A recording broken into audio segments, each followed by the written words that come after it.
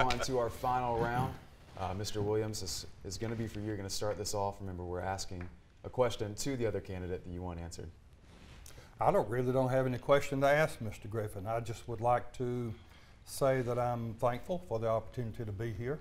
Mr. Griffin um, is a fine gentleman, and I've known him for many years. Um, we have a difference of opinion. We have a difference of political philosophy. I'm about bringing jobs to Baldwin County, and I can make things happen. Baldwin and Putnam County is right here. I own business in both counties. I know what it is to make payroll. I know what it is to ha- have to provide health insurance for employees. And I do that. And I've created jobs. I didn't just inherit something, I've actually built business and I've created jobs. Mr. Griffin, your chance to speak. I tell you what, my good friend uh, Rick Williams, uh, uh, sometimes I think he's out in la la land. Look, I inherit my family business, and I'm proud of that because my father worked very hard to get to the point where he had a business to inherit me. And you know, my father and mother helped you a lot when you started your business. And I now, helped them. Yes, that's right. So don't don't come talking about you. Okay, let me move on. Let me ask you a question. When I met you in 1990, when I came back here, you were a Democrat.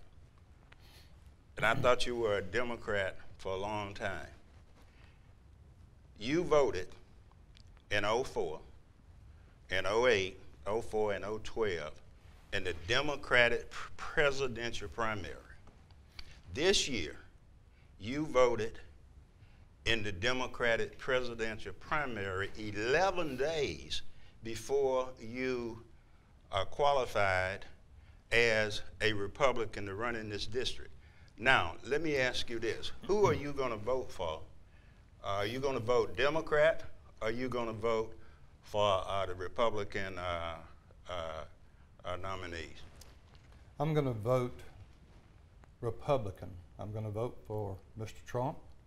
I'm going to vote for myself. Matter of fact, I've already voted. Yeah, I've ran as a Democrat back years ago. Everyone was a Democrat.